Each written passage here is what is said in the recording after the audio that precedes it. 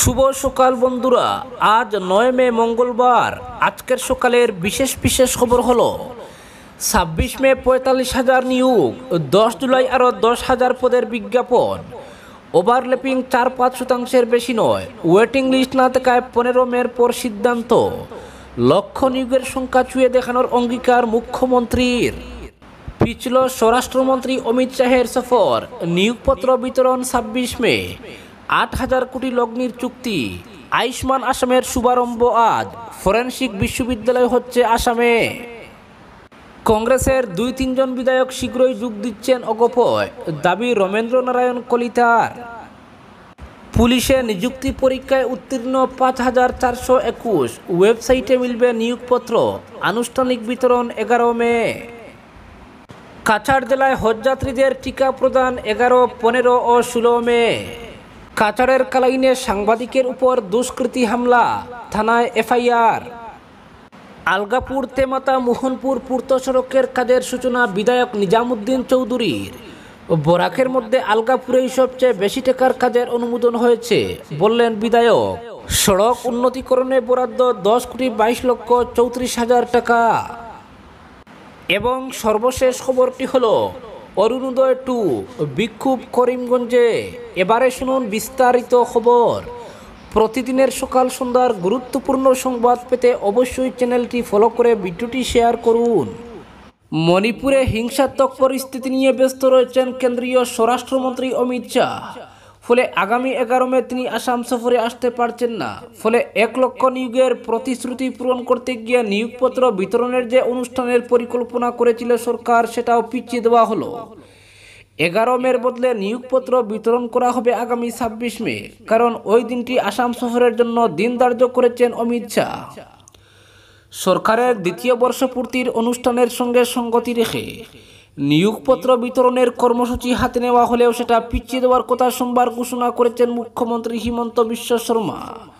সোমবার বিকেলে তিনি এক সাংবাদিক বৈঠকে বলেন, নয়, দশ ও এগারো মে সরকারের দ্বিতীয় বর্ষপূর্তি উপলক্ষে কিছু জনকল্যাণমূলক কাজ হাতে নেওয়া হয়েছিল। কিন্তু মণিপুরের সার্বিক পরিস্থিতির জন্য কেন্দ্রীয় স্বরাষ্ট্রমন্ত্রী অমিত শাহ সফর পিছিয়ে দিয়েছেন। এগারো মের পরিবর্তে ছাব্বিশ মে তিনি আসামে আসবেন, ফলে ছাব্বিশ মে নিয়োগপত্র বিতরণ করা হবে। নিয়োগপত্র বিতরণ পিছলেও যোগদানের তারিখ একই থাকবে জানিয়ে মুখ্যমন্ত্রী বলেন। চাকরিতে যোগদানের তারিখ একই থাকবে। এগারো মে নিয়োগপত্র হাতে পেলেও এক জুন চাকরিতে যোগ দেওয়ার কথা ছিল। তবে ছাব্বিশ মে নিয়োগপত্র হাতে পেলেও এক জুনই যোগ দিতে হবে কাজে। এক জুন থেকে পনেরো জুন অবধি সময় থাকবে কাজে যোগদানের। তবে সরকারের বিভিন্ন বিভাগকে নির্দেশ দেওয়া হয়েছে। পোস্টিং অর্ডার প্রস্তুত করে রাখতে যাতে ছাব্বিশ মে নিয়োগপত্র হাতে পেয়ে চার দিনের মধ্যে সকলে কাজে যোগ দিতে পারেন। নিয়োগপত্র বিতরণের কর্মসূচি পিছিয়ে দেওয়া হলেও সরকারের দ্বিতীয় বর্ষপূর্তির বাকি অনুষ্ঠান অবশ্য নির্দিষ্ট দিনেই হচ্ছে। মুখ্যমন্ত্রী জানান, মঙ্গলবার দুপুরে রাজ্যের শিল্পক্ষেত্রে প্রায় আট হাজার কোটি টাকা বিনিয়োগের চুক্তি স্বাক্ষরিত হবে বিভিন্ন কোম্পানির সঙ্গে। পেপসির চিপস কারখানা সহ তিনটি নতুন সিমেন্ট কারখানা ওই তালিকায় রয়েছে। তাছাড়া বিকেল চারটায় স্বাস্থ্য বীমা প্রকল্প মুখ্যমন্ত্রীর আয়ুষ্মান আসামেরও শুভারম্ভ করা হবে। যে প্রকল্পের অধীনে রেশন কার্ড থাকা প্রত্যেক ব্যক্তি বছরে বিনামূল্যে পাঁচ লক্ষ টাকার চিকিৎসা পরিষেবার সুযোগ পাবে।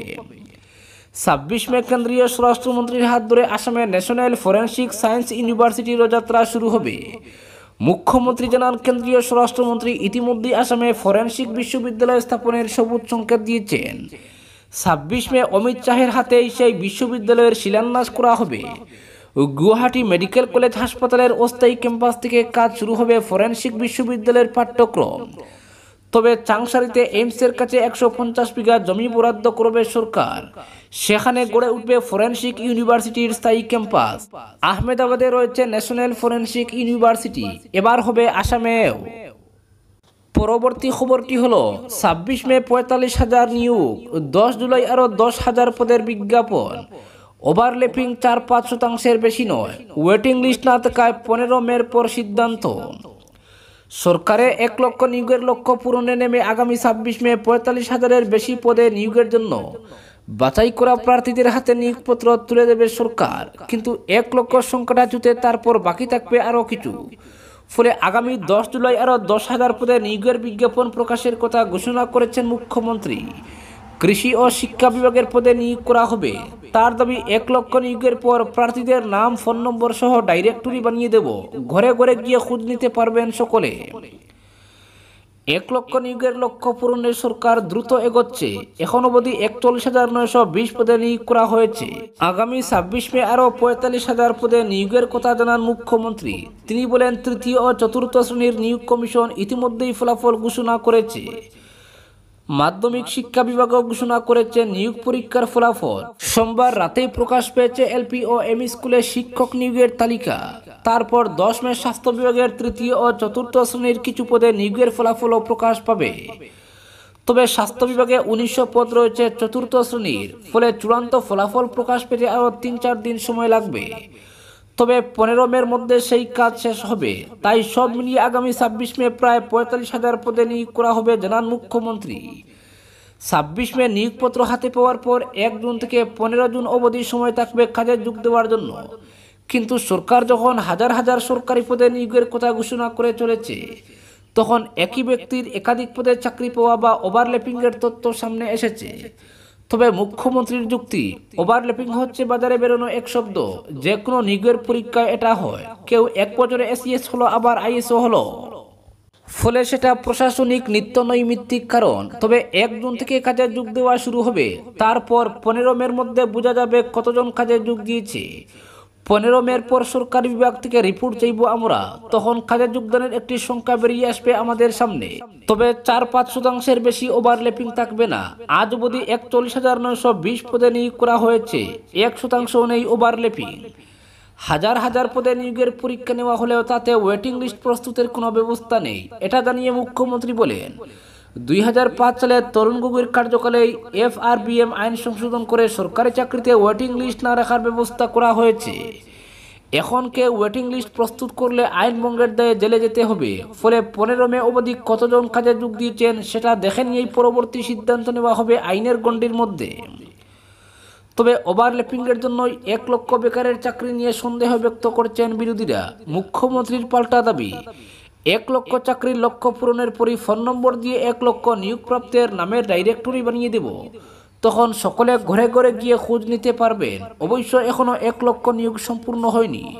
তবে সংখ্যাটা চুয়ে দেখাবো। সব নিয়োগ হবে নিয়মিত চুক্তিভিত্তিক পদে নয়। চুক্তিভিত্তিক পদে হলে সেটা এক লক্ষের বাইরে থাকবে।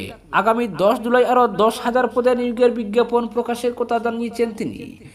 কৃষি শিক্ষা বিভাগের শূন্য পদে নিয়োগের বিজ্ঞাপন প্রকাশ পাবে। পরবর্তী খবরটি হলো, কাছাড় জেলার এবারের হজযাত্রীদের টিকা প্রদান করা হবে আগামী এগারো, পনেরো ও ষোলো মে। সোমবার কাছাড়ের জেলা শাসকের কার্যালয়ের সভাকক্ষে কাছাড়ের স্বাস্থ্য বিভাগের আধিকারিকদের উপস্থিতিতে জেলা হজ কমিটির এক সভায় এই সিদ্ধান্ত নেওয়া হয়। অতিরিক্ত জেলা শাসক তথা জেলা হজ কমিটির সচিব মনসুর আহমেদ মজুমদারের পৌরোহিত্যে অনুষ্ঠিত এই গুরুত্বপূর্ণ সভায় এই সিদ্ধান্ত নেওয়া হয়। আগামী এগারো মে কালাইন সিনিয়র মাদ্রাসায় যে সকল হজযাত্রী কালাইন হজ কমিটির মাধ্যমে হজের আবেদন জমা করেছেন, তাদের টিকা প্রদান করা হবে। এছাড়া পনেরো ও ষোলো মে শিলচর গনিয়ালা স্থিত মরকজ ভবনে পরপর দুদিন হজযাত্রীদের টিকা প্রদান করা হবে। পনেরো তারিখ সকাল দশটা থেকে শিলচর, লক্ষ্মীপুর, বড়খোলা ও কাটিগুড়া বিধানসভা এলাকাধীন হজযাত্রীদের টিকা দেওয়া হবে। ষোলো মে সকাল দশটা থেকে একই স্থানে সুনাই দোলাই ও উদারবন্দ বিধানসভা এলাকাধীন হজযাত্রীদের টিকা প্রদান করা হবে। যেহেতু এবছর কাছাড় জেলা থেকে এবার সর্বাধিক পুণ্যার্থী হজব্রত পালন করতে যাচ্ছেন এবং হজযাত্রীদের একই সাথে হেলথ কার্ডে ফিটনেস সার্টিফিকেট দিতে হবে, তাই টিকা প্রদান শিবির তিন দিনে সম্পন্ন করার সিদ্ধান্ত গৃহীত হয় সবাই এদিনের এই সভায় জেলা হজ কমিটির সম্পাদক তথা এডিসি এম এ মজুমদার, যুগ্ম সম্পাদক তৈমুর রাজা চৌধুরী সদস্য সামিনুল হক বড়বুইয়া আতাউর রহমান লস্কর, নুরুল আলম মজুমদার ছাড়াও। স্বাস্থ্য বিভাগের যুগ্ম সঞ্চালক আশুতোষ বর্মন, অতিরিক্ত chief medical and health officer P K Roy. SDMO M I Barbhuiya ও স্বাস্থ্য বিভাগের কর্মী তৈবুর রহমান বড়বুইয়া প্রমুখ উপস্থিত ছিলেন। কাছাড় জেলার স্বাস্থ্য বিভাগের যুগ্ম সঞ্চালক আশুতোষ বর্মন শিলচর ও কারাইনের হজযাত্রী টিকা প্রদান শিবির সুষ্ঠুভাবে সম্পন্ন করতে চিকিৎসক, নার্স ও প্যারামেডিক্যাল টিম গঠন করে একটি আদেশ জারি করেছেন। টিকা প্রদান শিবিরে নির্ধারিত দিনে হজযাত্রীরা কোভিড উনিশ উভয় ডোজের সার্টিফিকেট, ইতিপূর্বে করা রক্ত পরীক্ষা এক্স রে ইসিজি ইত্যাদি রিপোর্ট থাকলে তার সঙ্গে নিয়ে আসতে অনুরোধ জানানো হয়েছে। পরবর্তী খবরটি হল, কাছাড়ের কালাইনে সাংবাদিকের উপর দুষ্কৃতী হামলা, থানায় এফআইআর। কাছাড় জেলার অন্তর্গত কালাইন থানাধীন লক্ষ্মীপুরে দুষ্কৃতিকারীদের হামলার শিকার হয়েছেন তরুণ সাংবাদিক সমীন্দ্র পাল। ঘটনার সঙ্গে জড়িত দুষ্কৃতীদের গ্রেফতার করে উপযুক্ত শাস্তির দাবি জানিয়ে কালাইন থানায় লিখিত অভিযোগ দায়ের করেছেন সাংবাদিক সমীন্দ্র। অভিযোগপত্রের প্রতিলিপি তিনি কাছাড়ের পুলিশ সুপার শিলচরের প্রেস ক্লাব সহ বিভিন্ন সংবাদ মাধ্যমে পাঠিয়েছেন। ঘটনা সম্পর্কে কালাইন থানায় দায়েরকৃত অভিযোগপত্রে সাংবাদিক সমীন্দ্র পাল লিখেছেন রবিবার রাত আনুমানিক আটটা চল্লিশ মিনিট নাগাদ পেশাগত কর্তব্য সেরে কাতরাইলে অবস্থিত স্বগৃহে ফেরার উদ্দেশ্যে তার AS one one X seven one eight one নম্বরের বলেনো গাড়িতে করে কালাইন থেকে রওনা দিয়েছিলেন। কিন্তু বাড়ি পৌঁছানোর আগে লক্ষ্মীপুর এলাকায় দুই দুষ্কৃতী কর্তৃক আক্রমণের শিকার হয়েছেন তিনি। লক্ষ্মীপুর এলাকায় আসার পর চালক জয়দীপ মালাকারকে প্রাকৃতিক কাজের জন্য জাতীয় সড়কের পাশে দাঁড় করলে। অজ্ঞাত পরিচয় দুই মোটর বাইক আরোহী কালাইন থেকে কাঠিগুড়া অভিমুখে প্রচণ্ড বেগে তাদের অতিক্রম করে যায়। কিন্তু কিছু দূর গিয়ে তারা মোটর বাইক ঘুরিয়ে ফের তাদের দিকে অর্থাৎ কালাইন অভিমুখে আসতে থাকে। কোনো কিছু বুঝে ওঠার আগে বাইকের পেছনের আরোহী দুষ্কৃতী ধারালো অস্ত্র হাতে নিয়ে ড্রাইভারের জানালার গ্লাসে জুড়ে জুড়ে আঘাত করে দরজা খুলতে বলে। তবে চালক জয়দীপ প্রাণের বয়ে গাড়ি স্টার্ট দিয়েই দ্রুতগতিতে সেখান থেকে কাঠিগোড়া অভিমুখে ছুটে যায়। পরে ওই দুই বাইক আরোহী তাদেরকে পিছু পিছু দেওয়া করে চিৎকার করে অশ্লীলভাবে গালাগাল দেয় এবং দেখে নেওয়ার হুমকি দেয়। এরপর কিছু একটা শক্ত সামগ্রী দিয়ে গাড়িতে ডিল চুড়ে তবে গাড়ির বেশি ক্ষতি না হলেও ডান পাশের ব্যাকলাইট ভেঙে চুরমার হয়ে গেছে। অভিযোগপত্রে তিনি লিখেছেন, দুই মোটর বাইকার্সের মধ্যে পেছনের আরোহীর মুখে কালো কাপড় বাঁধা ছিল, চালকের মাথায় ছিল হেলমেট। তবে ওই যুবকের মুখে মাস্ক জাতীয় কিছু ছিল বলে অভিযোগপত্রে উল্লেখ করেছেন পাল। তিনি লিখেছেন, দুই দুষ্কৃতির কাউকে চিনতে না পারলেও ধারণা করছেন তারা অবৈধ সামগ্রী পাচারের সাথে জড়িত। কারণ ইদানিংকালে তিনি অবৈধ সামগ্রীর ব্যবসা নিয়ে একাধিকবার খবর করেছেন। কাটিগুড়ার আইন শৃঙ্খলার দ্রুত অবনতি হচ্ছে। সাধারণ জনগণের উপর আক্রমণ ছাড়াও গণতন্ত্রের চতুর্থ স্তম্ভ সাংবাদিকের উপর হামলার ঘটনাও এখন সংঘটিত হচ্ছে। অভিযোগপত্রে লিখেছেন সমীন্দ্র পাল, ঘটনা সম্পর্কে সঠিক তদন্ত করে দোষীদের গ্রেফতার করে উপযুক্ত শাস্তির অনুরোধ জানিয়েছেন কালাইন থানা কর্তৃপক্ষের কাছে। পরবর্তী খবরটি হলো, আলকাপুর, তেমাতা, মোহনপুর পূর্ত সড়কের কাজের সূচনা বিধায়ক নিজামের। বরাকের মধ্যে আলগাপুরেই সবচেয়ে বেশি টাকার কাজের অনুমোদন হয়েছে বললেন বিধায়ক। দীর্ঘ প্রতীক্ষার পর আলগাপুর তেমাতা থেকে মোহনপুর কুয়ারপাড় তেমাতা পর্যন্ত পূর্ত সড়ক উন্নতিকরণের কাজের সূচনা করলেন আলগাপুরের বিধায়ক নিজামুদ্দিন চৌধুরী। মুখ্যমন্ত্রীর পকিপথ নির্মাণ যোজনার অধীনে আইআরডিএফ তহবিল থেকে দশ কোটি বাইশ লক্ষ চৌত্রিশ হাজার ছয়শো টাকা বেশ সংস্কার হবে এই পূর্ত সড়কের। সোমবার কাজের ফলক উন্মোচন অনুষ্ঠানে ইউডিএফ বিধায়ক নিজামুদ্দিন চৌধুরী দাবি করেন, রাজ্যে বিজেপি নেতৃত্বাধীন সরকারের আমলে বরাকের সব বিধানসভা এলাকা থেকে আলগাপুর কেন্দ্র সবচেয়ে বেশি টাকার কাজের অনুমোদন পেয়েছে। আলগাপুর কেন্দ্রে মুখ্যমন্ত্রী হিমন্ত বিশ্ব শর্মার তীক্ষ্ণ নজর রয়েছে। দীর্ঘদিন ধরে বেহাল অবস্থা থাকা আলগাপুর তেমাতা মোহনপুর, কুয়ারপাড় তেমাতা পূর্ত সড়ক উন্নতিকরণের কাজ। মুখ্যমন্ত্রী হিমন্ত বিশ্ব শর্মার আন্তরিকতায় অনুমোদন পেয়েছে। এই রাস্তার উভয় দিক আগের থেকে চওড়া হবে। তাই মানুষের দখলে থাকা পূর্ত বিভাগের জায়গা স্বেচ্ছায় ছেড়ে দিতে আহ্বান জানান বিধায়ক। তিনি আরও বলেন, রাস্তাঘাটের উন্নয়ন হলে এলাকার আর্থসামাজিক উন্নয়ন ত্বরান্বিত হবে। তাই রাস্তা নির্মাণে ঠিকাদারকে সহযোগিতার আহ্বান জানান তিনি। হাইলাকান্দি জেলা পূর্ত সড়ক সংমণ্ডলের কার্যবাহী বাস্তুকার অলোক কুমার নন্দী সবাইকে আহ্বান জানান, পূর্ত বিভাগের জায়গা স্বেচ্ছায় ছেড়ে দিতে, না হলে আইনি পদক্ষেপ নেওয়া হবে। বিশিষ্ট সমাজসেবী তাজউদ্দিন বলেন, বহু প্রতীক্ষিত এই সড়ক উন্নতিকরণের কাজ মঞ্জুর হয়েছে। তাই কাজে দুর্নীতি হলে পরিণাম ভয়াবহ হবে। প্রয়োজনে হাজার হাজার জনতাকে নিয়ে বৃহত্তর আন্দোলন গড়ে তোলা হবে। তাই গাইডলাইন মেনে ও গুণগত মান সঠিক রেখে কাজ করতে বরাদপ্রাপ্ত ঠিকাদারকে অনুরোধ জানান তিনি।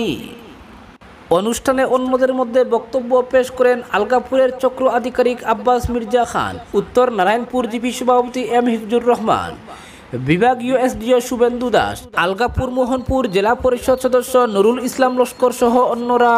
আজকের বিশেষ বিশেষ সম্বদ এখানেই সমাপ্ত।